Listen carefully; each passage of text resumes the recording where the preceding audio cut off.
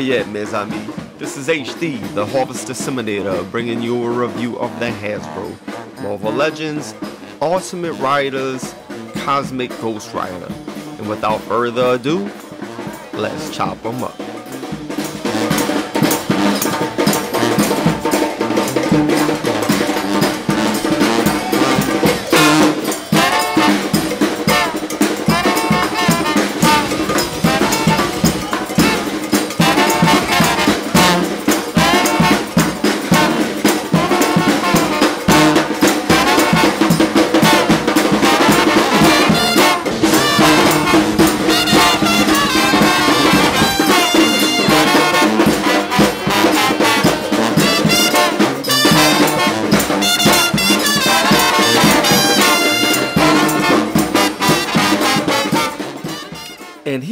Cosmic Ghost Rider in the packaging. And I must say, I'm very excited for this action figure. I am a huge fan of the Cosmic Ghost Rider himself. So I'm looking forward to getting him out the box, looking at some of his comic book accuracy. Uh, we'll look at a little biographical sketch of who this particular version of Ghost Rider is, which he is phenomenal. Uh, so look at him in the box, y'all. You can see his uh, his cosmic motorcycle here, uh, which in the packaging looks great. You can see that the handlebars are disattached. You're gonna have, we're gonna have to attach the uh, the front wheel, for lack of a better word, um, and then you have the rider himself right here. And of course, this is gonna be a reuse. This whip. Uh, it's only going to be translucent. Looks like he has two guns right here with some blast effects.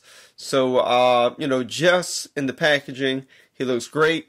Here at the top, you will have a spot varnish logo for the Cosmic Ghost Rider. On the side, you will have this awesome, awesome artwork. And I believe you can get the same thing on both sides of the box, and we do. On the back, you're going to get a product shot. And uh, pretty much they give away who he is. Well, we all know who he is if you're reading the comic books. Supernatural powers transform Frank Castle from a force of retribution into an eternal spirit of vengeance. And man, just the whole storyline of how uh, Francis Castle, as he's called in the comic books, uh, becomes the uh, the Cosmic Ghost Rider. It's real cool, man. So uh, we'll look at that here in a moment. Uh, at the bottom, y'all, you will, it's pretty basic. You get the barcode right here at the bottom. I actually picked mine up on Amazon for $42. Um, I saw that it was popping up in certain retail stores. Man, I could not find this thing in New Orleans. I'd go even go to GameStop and ask for it. And they'd be like, yeah, we don't even have it in our system. It might just be in New Orleans things. I'm not uh, sure. Uh, but I did pick this guy up uh, on Target for $42. I'm considering getting that Squirrel Girl as, uh, as well. I'm going to give that a little time, though. Uh, knock through a couple of reviews. Then I might pick her up. Uh, but here he is, y'all. Let's get this dude out the box and let's see what he's all about. So by default, we're going to look at his accessories. I just took this right off the box. I haven't put it together yet. I'm going to do it right here on video. But this is everything in the box, all of his accessories. Uh, so the first thing we're going to do is put together his cosmic motorcycle.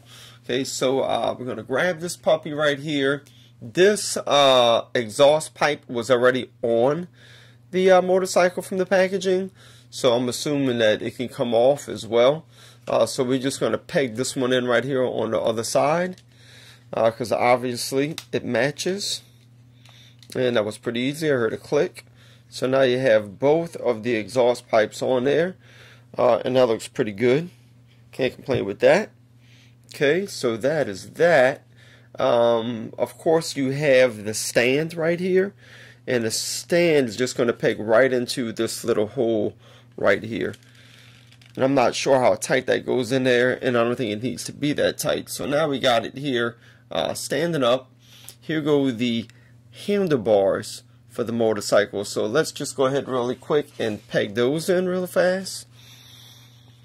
And something might fall over here. And if it does, say la vie. Alright, that popped in fairly easy. Then here goes the other handlebar right here. Bam, and that popped in. So look, we almost got it completely together here, y'all. And so here you have these effects. I'm not sure if they stay in there. Uh, let's see what we got going on. Uh, I'm gonna pull them out and see if uh, it looks like they might peg here. Seeing these little holes right here, these two holes right there. So I'm assuming those are gonna go in right there. So let's uh, get that in right there, and sure enough, that goes in, and this one fits right here as well. And then let's get these here on the other side as such. Put those in. Whoops, that's not on the camera. I'm not paying attention. Alright, that snapped in. And that snapped in pretty good. So now you have this effect going. And I'm going to assume that this is going to go over this somehow. Let's see here. This definitely is going to fit in through here. How many action reviewers does it take to put on some wheels? Alright, that snapped in. And uh, I'm assuming I did this wrong. In fact, I did. You have these two grooves right here. And so those two grooves probably need to touch those bars over there. So that snapped out as I did that, but that's alright. That might snap right back into place as I stick this on right here. Yep, there we go. I needed to go right there.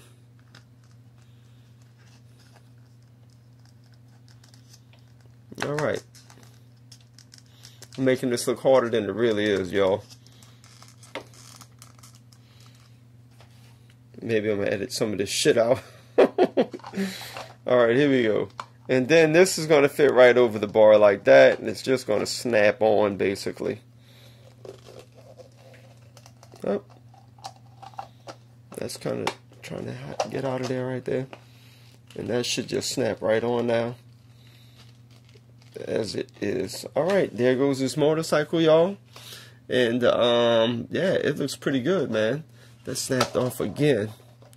So I'm getting, up. alright, I heard it click that time. But there it goes, it came off again. So maybe this is not going to be as easy as I thought it was. It's probably just me not getting it on the right way. So there it is, yo. Feels like that just wants to keep snapping off, though. I want to uh, be honest with you. So um, you might have a little trouble with it, but uh, feels pretty secure now. There it is, y'all. There goes this Coast uh, Cosmic uh, motorcycle, okay? Before we proceed looking at the uh, accessories and the action figure, let us take a deeper look at the motorcycle itself. Um, you know, this ball right here, the, the energy ball on the uh, motorcycle or cosmic cycle, however you want to call it, I gotta admit, you know, Carnival just ended. I tell my daughter that Mardi Gras toys, they temporary toys. They're gonna break in like two minutes, man. They're gonna last one day. and that's normally what it is. And for some reason, this ball right here, it reminds me of a Mardi Gras toy that's only going to last a couple of minutes. Because look, it just literally, it does. It pops like right off, man. You know, it doesn't take a lot. Okay. And I wish that it was just a little bit more sturdy than what it is right now. But you really just barely touch it. I guess one of the cool things is you could stick a light in there somehow.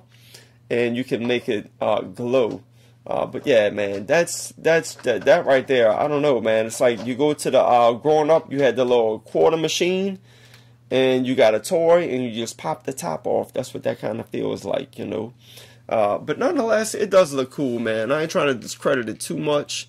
It is cool. I'm just, it's a review, you know, so we want to be honest about the product. Okay, I do like this headlight right here, man. That is pretty legit. Uh, I like this little detail right here. The handlebars overall, they look cool, man. Uh, those snap-on as you saw earlier, that looks great. This little footrest right here, it's uh, pretty flexible, so you can kind of move that around a little bit. Uh, granted, you're just going to sit uh, Francis Castle's feet right on it, but if you need to, like, uh, you know, pose them somehow, possibly you can move this around to get a different effect. Uh, you have this little blue ball right here on the side, some blue details right here. The seat uh, looks cool, man, and it feels nice. Uh, does it feel different than all the plastic? Not really, but it looks like it's a little bit different, you know. Uh, I guess it's supposed to be kind of like a, like a more shinier. This is more of a matted uh, color. This is a shinier kind of plastic uh, to make it look like it's leather. So I like that for sure. You do have the holsters right here. And here is guns. Uh, granted, I'm not going to put them on there with the blast effects. But yeah, man, I mean, they fit in there, as you, you probably saw, just perfectly. Uh, so, I mean, they snap almost like right in. So that's cool for storage. Um, the only thing you're going to have to keep track of here is the fire effect for, uh, you know, for whenever you're posing them as you're shooting it.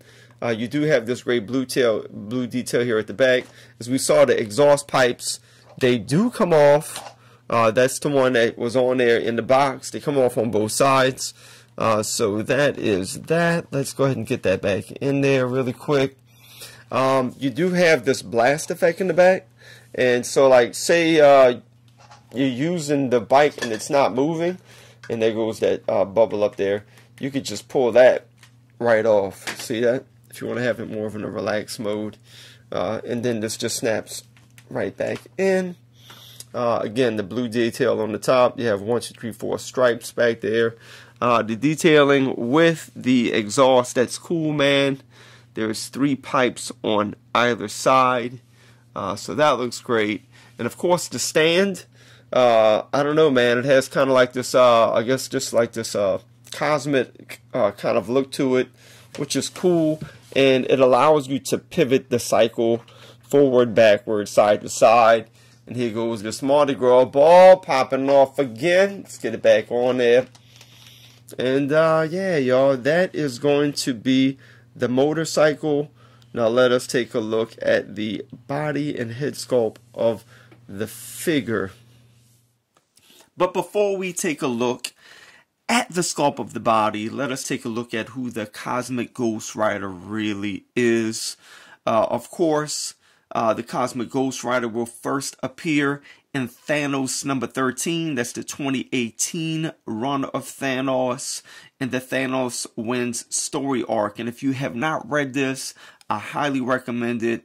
It is a page turner. In fact, that whole run of Thanos is, uh, and it's really worth your time reading. Um, of course, when we first see the Cosmic Ghost Rider, he is sent into the present by the future version of Thanos uh, to get the present day Thanos. Uh, and bring him back to the future.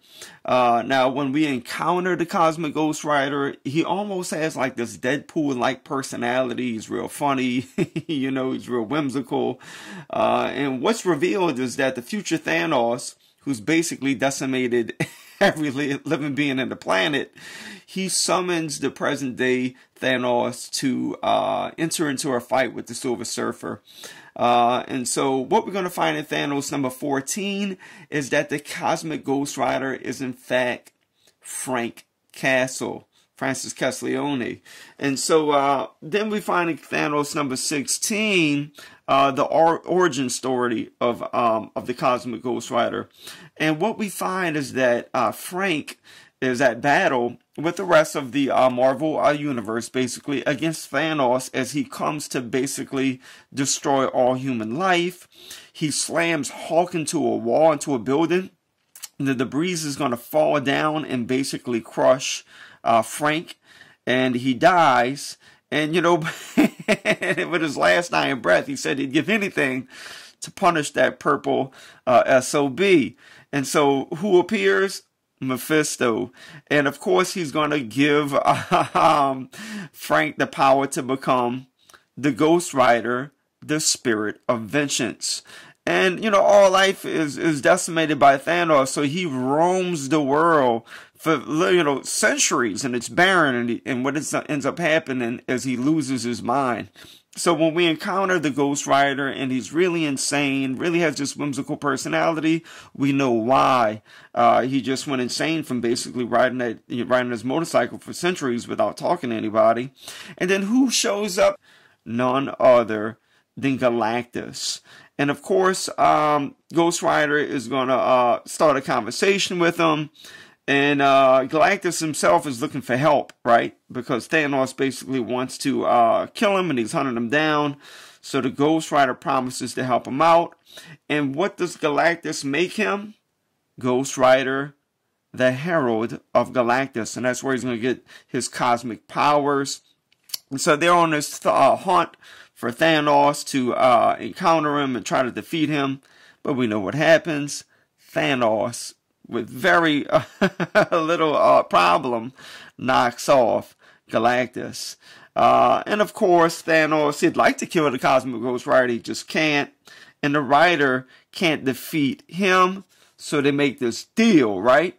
Um, so what's going to happen is he becomes the Ghost Rider, black right hand of the Mad King Thanos. And what we encounter uh, in this story arc, in fact, is that the Cosmic Ghost Rider is killed by Silver Surfer using Thor's hammer. And that's going to bring us up to speed to Thanos Annual number one. Again, that's 2018 where um, basically he ends up in the uh, in limbo, uh, Cosmic Ghost Rider, and he's going to offer a narrative in limbo of uh, just the cruelty of Thanos. And of course, Odin's going to show up to save him from the astral plane and takes him to Valhalla. Uh, you know, which basically is the uh, the hall of, of, of the dead uh, for those who died in combat in uh, Norse mythology. Uh, it's like the Asgardian afterlife, and he is basically Odin's going to offer him a second chance you know, this is going to bring us into the Cosmic Ghost Rider storyline where he tries to uh, kill baby Thanos. And uh, it's just, it's really crazy, man. And it's really cool. And I think that's one thing I wish we would have got with uh, the Cosmic Ghost Rider was a baby Thanos. Like we, we see, uh, we saw at the reveal at uh, the New York uh, Toy Fair that uh, the new version of the Old Man Logan will come with a baby Hulk man, I really think that would have been appropriate with this figure if we would have got a baby Thanos. Since um, baby Thanos plays such a big role in the title comic book of uh, the Cosmic Ghost Rider. But you know, after this story arc, he became a uh, you know a member of the Guardians of the Galaxy, and there's a couple of other title runs of uh, Cosmic Ghost Rider. So that's a little bit about his origin, y'all.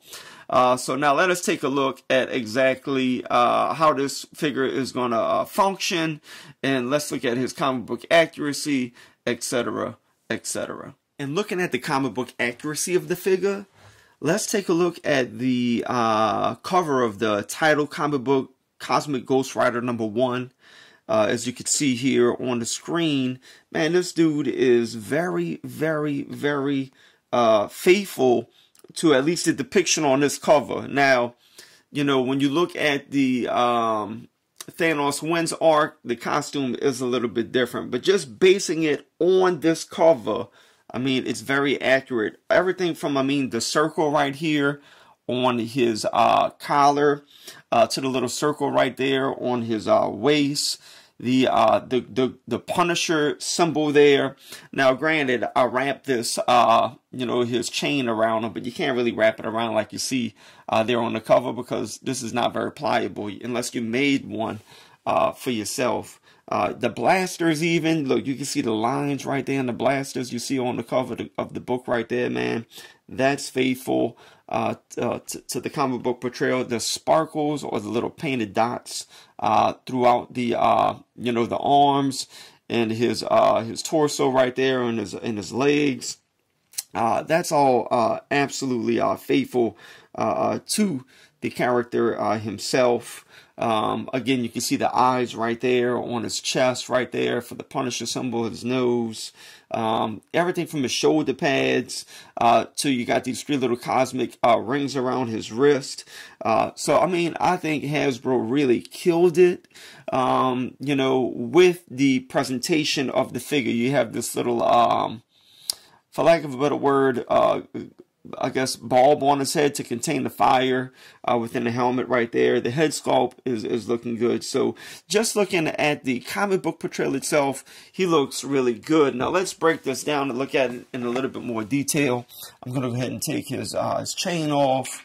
Uh, we'll take his guns out of his hands. Again, those things being very comic book accurate right there. Let's take that out, put them to the side. So with the head, y'all, uh, what you're going to be able to do is to take the bulb off right there, his helmet, and um, and then you have his head. So if you need to pose this guy looking to the side, you can't just do that with this on here, right? That's just going to swivel around. You have to actually take this out, move his head uh, to wherever you want him to look, and then you'd have to put his helmet back on like that, okay?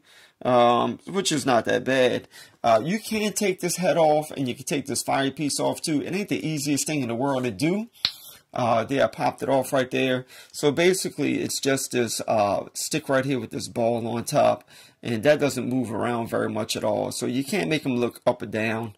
Uh, but man, his articulation is so good that, that the articulation helps you out if you wanted him to look up. Okay, so I'm going to put the fire back on because I like that effect. Put his head back on there. Pop it. And looking at the head sculpt, it is like parts of it, like a translucent type of plastic right there. You can see around his mouth. Uh, and even the back of his head right there is pretty translucent. You can actually see the ball in there if you look really good. Uh, but the head sculpt overall, man, I think it came out really nice. Um, I'm satisfied with it. I like the little fire effect that goes around uh, his head as well. That looks really good. So the head sculpt, in my opinion, is on point. You have a softer plastic that can move around uh, for his shoulder pads right there. And again, those are very comic book uh, accurate and faithful. So I like the fact that those move. You have some texturing there uh, within the uh, shoulder pad right there, which is nice. I mean, the detail throughout on this figure is just phenomenal. You know, everything from his chest. You can see that there's a little bit of wear right there on his chest plate. Uh, the paint job is really legit for the eyes and everything, man. So just the sculpting work on the chest is nice. Same thing with the torso.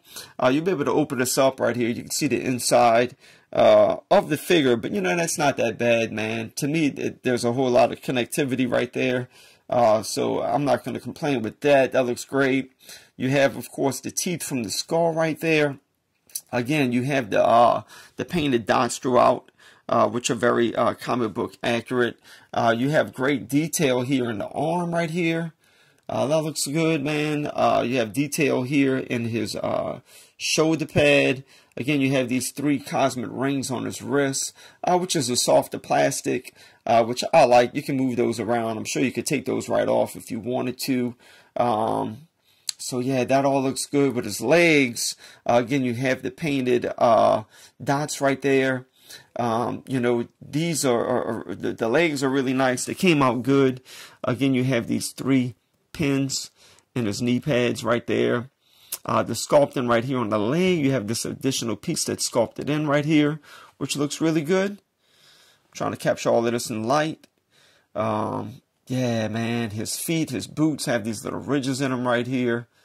That all looks really good, man. Even here on the bottom boot back there, that looks great. Um, this is like a little ball right here, but we'll look at that in more detail when we look at the articulation. Looking at his back, you can see that it is the Ghost Rider jacket right there. You know, and there again, you can find this wear in the back of the jacket back there, uh, which looks really good. You have this little plate right here on his back. Um, again, you have this uh, connectivity from his legs to his actual boot right there, which looks really good. Uh, Cosmic pointed out uh, with his feet. Everything looks really good. Man, one other thing I wanted to point out that I really appreciate is they, the ridges that you see in his arm, they do continue into uh, the hinge right there. I'm trying to get my, my light shined on that really good. So really appreciate that, man. That shows definitely some attention to detail on Hasbro's part. Um, so overall, the sculpt, in my opinion, is 110% comic book accuracy on fleek. And so I am very happy with how this came out. Now let us take a look at the Cosmic Ghost Rider's articulation. As I pointed out, to turn his head, you will have to take this globe off of his head or helmet or whatever you want to call this thing right here, capsule. Uh, you will have to take that off. You can only, you know, get a swivel with his head. That's it. You can't make him look up or down very much. Maybe I move his head a little bit it's all right. I got it to move a little bit, y'all. But of course, it's going to come up off of the hinge a little bit. Uh, but you can get it to move a tad bit, okay? And of course, you can get the swivel. When you get it into place, you got to put this little helmet back on. Uh, so that's that. The great thing with the arms is that this is a soft plastic, so you can get a 360 with this guy, man. Uh, with his arms, relatively easily. Uh, his arms go way up as well, which that's really nice. Uh, you do have an upper bicep swivel. You do have double jointed elbows, which are phenomenal. You do have a waist swivel, and both of his hands will have a hinge. Uh, there is no waist swivel with this guy uh, which I, I, think it would have been hard to have implemented being that you have these stripes going on right here, but you do have this torso swivel, and man, this thing can swivel all the way around. Uh, it goes side to side really well. You can see that. He goes way back, and he can bend way forward as well. So I like how it came out, man. It's just very fluid. It, it, it just, it's just very uh, pliable and you could articulate this guy pretty well with that, okay? With his legs, you can get a pretty far wide split. Of course, you're going to have this upper thigh swivel where his uh, his boot starts. You have double jointed knees uh, going on. Uh, so that's how high you can get that. With his uh, feet, you know, they do swivel. There's a ball down here that swivels, as you can see. Uh, of course, you're going to have the ankle pivot going on as well. You can get his feet to go that high. You can get him to go that low, which is pretty impressive because normally uh, when there's this little, uh, uh, I guess, pant piece down here or the boot, normally it stops right there, the articulation, but look, it can go further up. So that was very thoughtful on uh, on Hasbro's part is that you can still articulate these feet really well, even though you have those boots going on right there. So uh, honestly, I really do like the articulation on this figure. Uh, I don't see how you can make that head articulation any better than what it is right now. So overall, I would say for my you know part, uh, I'm very satisfied with the figure. It's not all like uh, you know, for lack of a better word, uh, tight and sticky. I mean, the articulation is just real loose, man, and, and it's just real fluid, and it flows really nice. So I really like how this action figure came out, and I think Hasbro absolutely killed it. And this is how the rider is going to look on his bike. So he just fits on there really good, y'all. Relative ease to get him on there with the loose articulation. I say loose, but it's tight, man. It's just perfect, man uh, the articulation and how you're able to move his legs and his arms and everything. The joints uh, work really well. But that's how he's going to look on his bike, y'all. Uh, he looks absolutely phenomenal. And again, uh, with the stand and the way that these stands are made, you can make this guy lean to the side like that, man, you know, which looks real nice. Uh, to the other side, you can bring, bring them forward like this so that the ball is touching the ground. You can pop them up like that. So, uh, man, just very fluid and uh, it all works really well. And of course, if you wanted to like take his hand off of his uh, handlebar, you could do that. And perhaps you wanted to put his whip in his hand like this. Uh, look, man, you could you could do that. All right, so that all looks really nice, just like it is. So that's how it looks on his motorcycle. Uh, let us make a quick comparison. Here's the Cosmic Ghost Rider next to the Johnny Blaze Ghost Rider uh, with his motorcycle. So, um, I mean, I'm kind of comparing uh, two different motorcycles here, you know, but uh, they're both go they're both Ghost Riders. Mephisto created, except this guy, of course, has uh, powers from uh, Galactus. But here we go, man. Uh, you know, they look really nice next to each other. I'll probably put them on my shelf next to each other like this. Uh, maybe even having the whips in their hands when I'm not using them, just like they are. But, you know, I, I really like this Ghost Rider right here, man, the Johnny Blaze. That piece comes off right there, as you probably already know.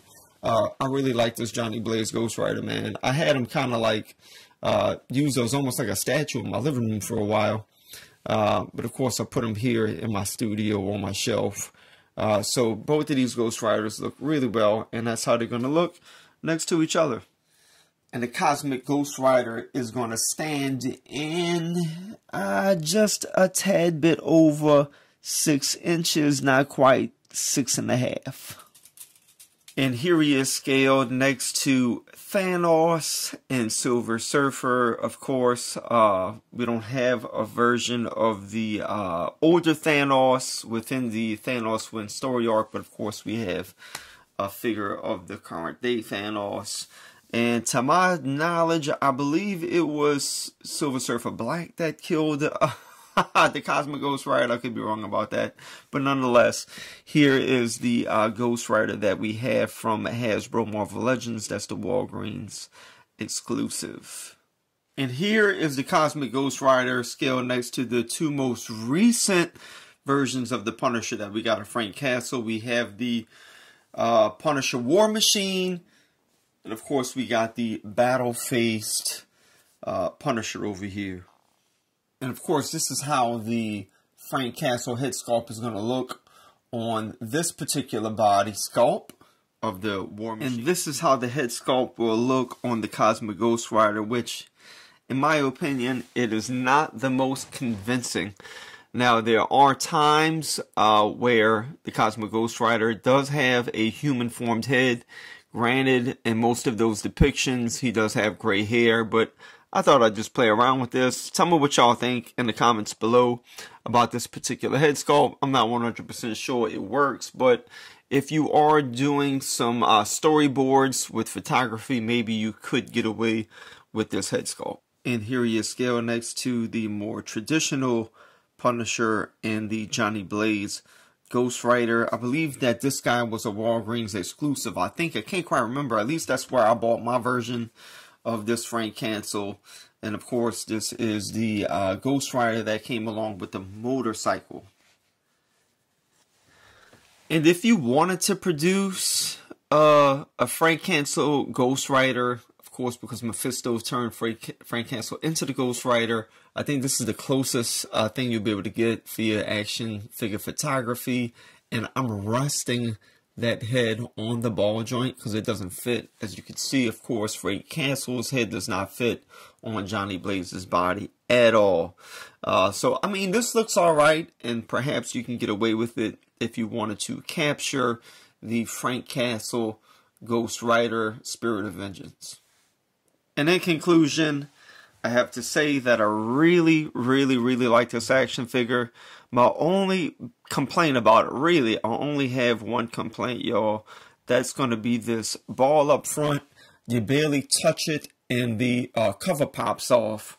Outside of that, I really like the action figure. I highly recommend it.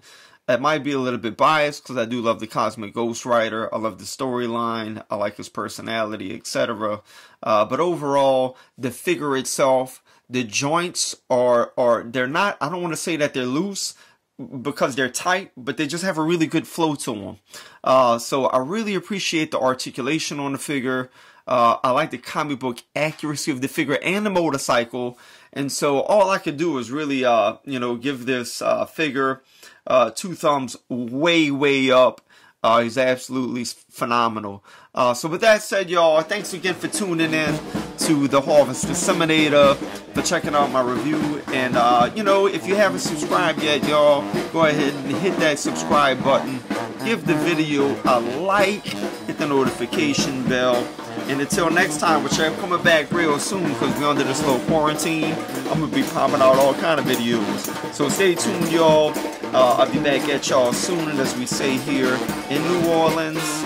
Laissez les bon temps rouler, mon ami.